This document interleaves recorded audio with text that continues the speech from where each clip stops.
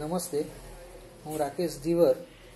ધોરણ દસના વિદ્યાર્થીઓ વિભાગ એ માં સોળ માર્કના પ્રશ્નોમાંથી વધુમાં વધુ ગુણ મેળવી શકે એ માટે કેટલાક પ્રશ્નો તેના જવાબો સહિત રજૂ કરું છું.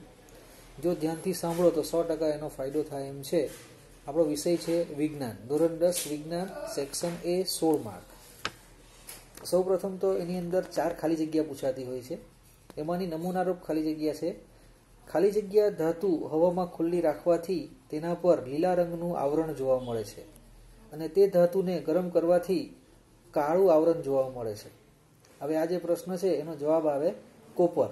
એટલે કે કોપર ધાતુને હવામાં ખુલ્લી રાખવાથી તેના પર લીલા રંગનું આવરણ જોવા મળે છે અને તે ધાતુને ગરમ કરવાથી કાળા કલરનું આવરણ જોવા મળે છે. ત્યારબાદ બીજો પ્રશ્ન છે, કીટોન સંયોજનોમાં હાજર ક્રિયાશીલ સમૂહનું સૂત્ર જણાવો. ટૂંકમાં કીટોનની અંદર કયો ક્રિયાશીલ સમૂહ આવેલો છે તે? તો C double bond O C અને ઓ વચ્ચે બે લીટી પાડી દેવાની અને સીની આગળ ક્રોસમાં બે લીટી પાડી દેવાની. એટલે એની સંયોજકતા બી ચાર થઈ જાય અને સી ડબલ બોન્ડ ઓ એવું આપણે યાદ રાખી શકીએ. ત્યારબાદનો પ્રશ્ન છે, ડાયનાસોર ખાલી જગ્યા વર્ગનું પ્રાણી છે. તો એનો જવાબ આવશે સરીસૃપ વર્ગનું પ્રાણી છે. એટલે ડાયનાસોર સરીસૃપ વર્ગનું પ્રાણી છે. ત્યારબાદ પ્રરોહાગ્રના ભાગે ખાલી જગ્યા અંતઃસ્રાવ સંશ્લેષણ પામે છે, જે કોષની લંબાઈમાં વૃદ્ધિમાં મદદરૂપ થાય છે. ટૂંકમાં પ્રરોહગ્રહના ભાગે કયો અંતઃસ્રાવ સંશ્લેષણ પામે છે? તો એનો જવાબ આવશે ઓક્ઝિન. બરાબર છે? એટલે આ શબ્દ લખવાની પ્રેક્ટિસ કરી લેવાની. પરીક્ષામાં ઓપ્શન નહીં આપેલા હોય તો ઓક્ઝિન શબ્દ કેવી રીતે લખાય એ પ્રેક્ટિસ કરેલી હોય તો આપણે એ જવાબ લખી શકીએ. તે જ પ્રમાણે ઇથેન સી ટુ એચ સિક્સમાં કાર્બન અને હાઇડ્રોજન બંધની સંખ્યા કેટલી છે? અથવા ખરા ખોટામાં પૂછાય કે ઇથેનમાં સી અને એચ બંધની સંખ્યા છ છે. તો એ જવાબ સાચો છે. C two H six ethane. Carbon અને હાઇડ્રોજન વચ્ચે કેટલા બંધ આવેલા છે? તો છ બંધ આવેલા છે. નહીં ખ્યાલ આવે તો ઇથેનનું અણુસૂત્ર લખવાનું અને પછી આડી લીટી પાડીને જોઈ લેવાનું કે કાર્બન અને હાઇડ્રોજન વચ્ચે કેટલા બંધ આવેલા છે. કાર્બન અને કાર્બન વચ્ચે નથી જોવાનું. કાર્બન અને હાઇડ્રોજન વચ્ચે જોવાનું છે. એટલે કાર્બન અને હાઇડ્રોજન વચ્ચે આપણને કેટલા બંધ જોવા મળે? છ જોવા મળે. એટલે કે આ વિધાન સાચું છે. તે જ પ્રમાણે plus two point zero D power ધરાવતો લેન્સ બહિર્ગોર પ્રકારનો લેન્સ છે. આ વિધાન ખરું કે ખોટું? તો આ વિધાન સાચું છે. તે જ પ્રમાણે હૃદયના ધબકારા વધારનાર અંતઃસ્રાવ એડ્રીનાલિન છે. એડ્રીનાલિન છે.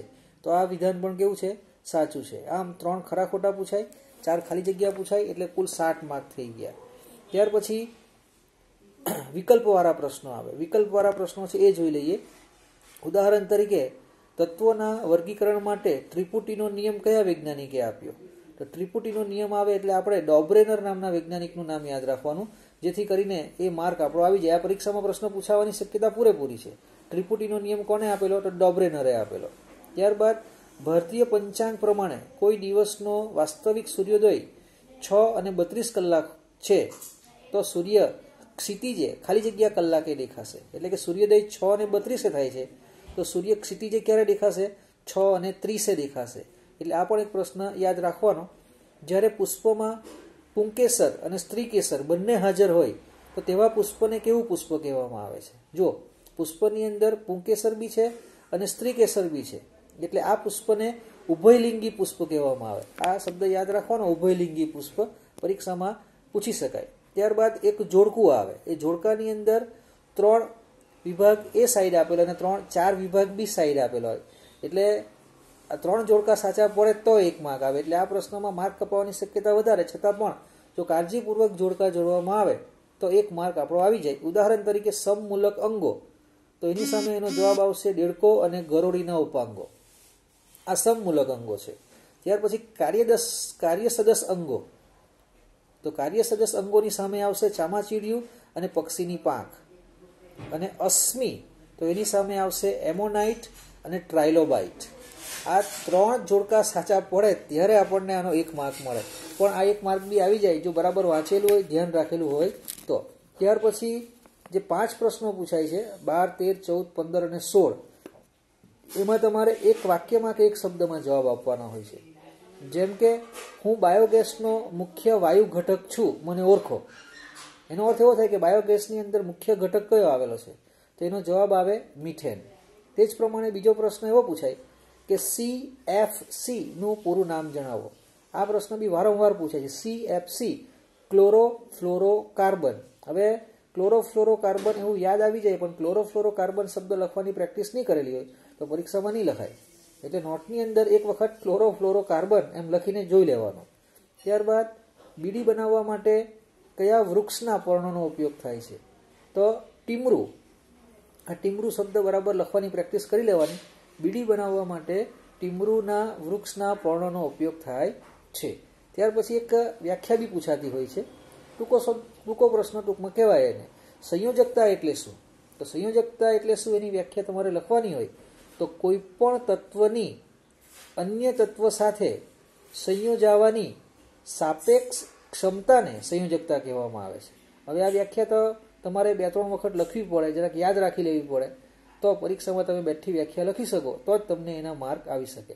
અને એક પ્રશ્ન બીજો એવો છે કે પરિપથમાં બાર વોલ્ટની બેટરીને સાંકેતિક રીતે કેવી રીતે દર્શાવશો? ટૂંકમાં અહીંયા આપણે બેટરીને સાંકેતિક સ્વરૂપમાં દર્શાવવાની છે. એટલે એક ટૂંકી લીટીની એક લાંબી લીટી. એટલે આપણો એને કોષ કહેવાય. પણ એવા ઘણા બધા કોષ તમે ભેગા કરો, તો એ તમારી શું બની જવાની? બેટરી બની જવાની. અને પછી એક ટૂંકો છેડો અને એક લાંબો છેડો આકૃતિમાં ખેંચી લેવાનો. એટલે તમારી બેટરી તૈયાર થઈ જાય અને ત્યાં ઉપર બાર વોલ્ટ લખી દેવાનો. અથવા તમે બે બે વોલ્ટના છ ભાગ પારો અથવા ચાર ચાર વોલ્ટના ત્રણ ભાગ પારો જે રીતે આકૃતિ બનાવી હોય એ રીતે બનાવી દેવાની. આમ વિભાગ એની અંદર આવા સોળ પ્રશ્નો પૂછાય. અને જો ધ્યાનપૂર્વક આ સોળ પ્રશ્નના જવાબ તમે લખો તો સોળ માર્ક તમારા આવી જાય. અને આ સોળ માર્ક જો આવી જાય ને, તો સ્કોરિંગ થવાની શક્યતા પણ વધી જાય અથવા પાસ થવાની શક્યતા પણ વધી જાય. આશા રાખું તમને આ સોળ પ્રશ્નના જવાબમાં સમજ પડી હશે અને તમે એનો પરીક્ષામાં લાભ મેળવો. આભાર.